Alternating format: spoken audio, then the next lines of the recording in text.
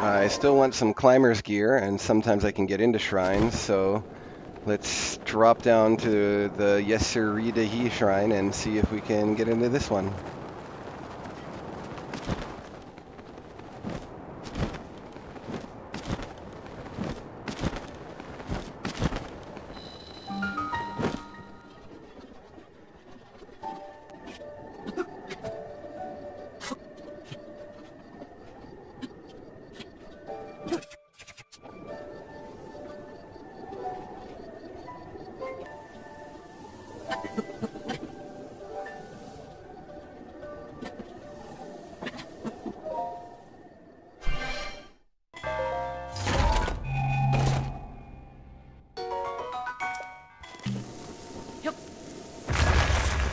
Unfortunately, I was not successful at getting into the Tana Ao Shrine. The side quest of rescuing Naydra is one of my favorite things in the whole game. I just love the dragons. They're so majestic and so cool in every single way. Uh, I just love this quest, and uh, uh, unfortunately, this is going to be the only time I ever see a dragon in the entire game because if it's never morning and never night, then uh, none of the other dragons will ever respawn. So, nice to see you, Naydra. And I did in fact throw in the scale and try to get into this shrine, but uh, couldn't get into this one either.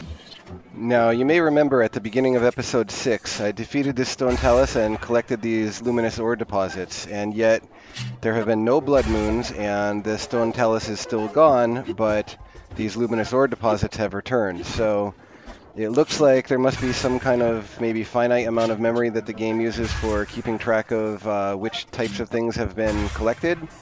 And uh, the memory for these and the memory for enemies must just be separate. So anyway, right now I'm on the hunt for this guy right here. Uh, I'm actually after his weapon. There's something I want to know in this game. Do weapons respawn if enemies don't die? So uh, now that I've got my uh, shock uh, Great Thunderblade, I want to come here. Normally I kill this guy with an ice weapon, but I don't want to kill him permanently. I want to just take his weapon and uh, return to this spot again some other time later in the game and see if I can get his weapon again. This time through the Korok Forest, I actually learned something. I didn't want to give up one of my weapons to pick up a torch, and I discovered that you don't actually need the torch. You can actually just look at these little wisps floating around in the air.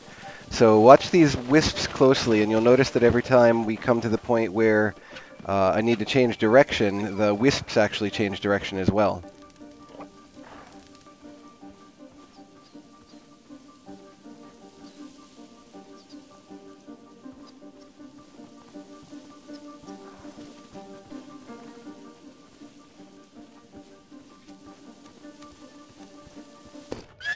Now, I prepared for the desert, getting all kinds of heat and cold resistant armor and potions and whatnot, and it turns out because it's 5:15 a.m. all the time, none of that matters. It's never hot and it's never cold. It's just always lovely.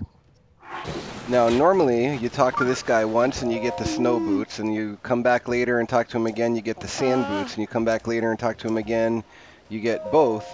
But because it's always 5:15 a.m., that doesn't work. Uh, the third time you try to talk to this guy, he's actually asleep, and you can't get both. So think carefully whether you want snow boots or sand boots, and then just never talk to him again after you have what you want. And for no apparent reason, my favorite way to enter Gerudo Town is right here, through the back entrance, directly into the chamber with Riju.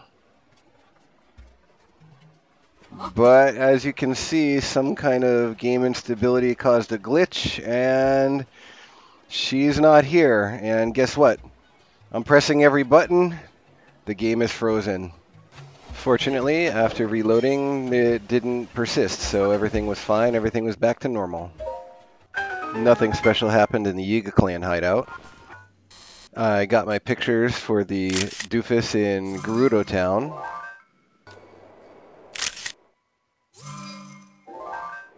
Talked to the doofus in Gerudo Town, gave up my snow boots, got my sand boots, talked to him again, and I can't. I wish I got my snow boots back. the only unusual thing that happened in Vah Naboris is the fact that I remembered how to get this chest without dropping it, and the fact that I beat Thunderblight Ganon on the first try, thanks to this Lynel Crusher that I got from the Great Plateau. Look, half of his health all in one attack. Never even saw the third phase.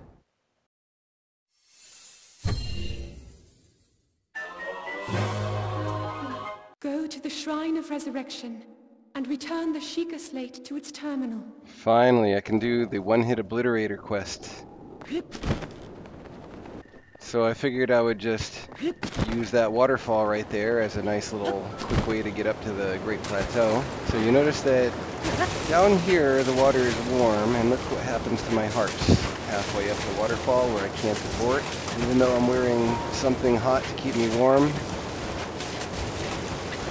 Anyway, this is where we're to cut it off for this time because next time we got a whole lot of shenanigans with the Obliterator.